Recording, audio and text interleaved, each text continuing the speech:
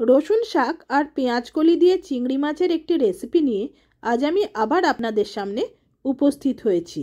এর জন্য চিংড়ি মাছ ভালো করে বেছে ধুয়ে নিয়ে নুন হলুদ মাখিয়ে রাখলাম। এরপর রসুন শাক আর পেঁয়াজ কলি ছোট ছোট টুকরোয় কেটে নিয়েছি। এরপর কড়াইতে সর্ষের তেল দিয়ে তাতে চিংড়ি মাছ ভেজে নিলাম। হালকা ভাজা হলে কড়া থেকে তুলে নিলাম। এরপর আরও কিছুটা সর্ষের তেল এর মধ্যে দিলাম। কালো জিরে, কাঁচা লঙ্কা ফোড়ন দিলাম।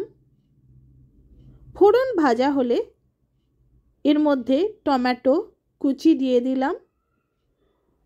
ভাজতে ভাজতে টমেটো কিছুটা সফট হয়ে গেলে রসুন শাক আর পেঁয়াজ কলির টুকরোগুলো এর মধ্যে দিয়ে কিছুক্ষণ নাড়াচাড়া করতে লাগলাম। দু মিনিট এইভাবে নাড়াচাড়া করে নিয়ে এর মধ্যে দিয়ে দিলাম নুন আর হলুদ গুঁড়ো।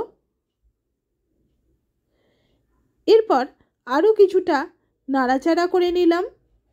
এইভাবে প্রায় এক মিনিট নাড়াচাড়া করার পর সব ইনগ্রেডিয়েন্টস যখন একে অন্যের সঙ্গে মিশে যাবে, তখন এর মধ্যে ভেজে রাখা চিংড়ি মাছ দিয়ে দিলাম।